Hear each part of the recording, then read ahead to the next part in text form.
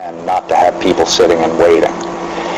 Uh, sometime an emergency can happen, and what are you going to do? But it should be the exception, not the rule.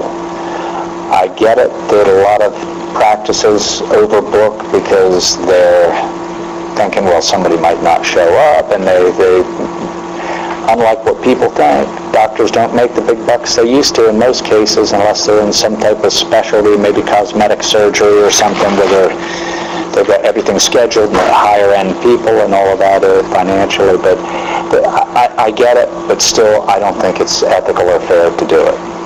You know, I'm not going to overbook, and if I have an appointment with you at 2 and with Gordon at 3, I'm not going to make Gordon wait until 3:30 because you came in 20 minutes late. You're just not going to get your appointment, or we're going to have a real short appointment, and you're going to pay for it anyway because my time was, I was there, and the time was booked.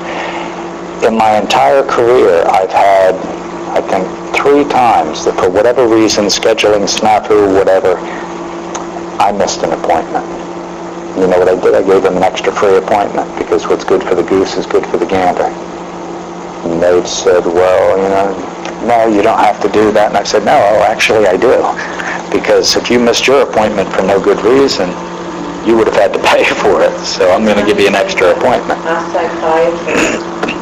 The cancer center is the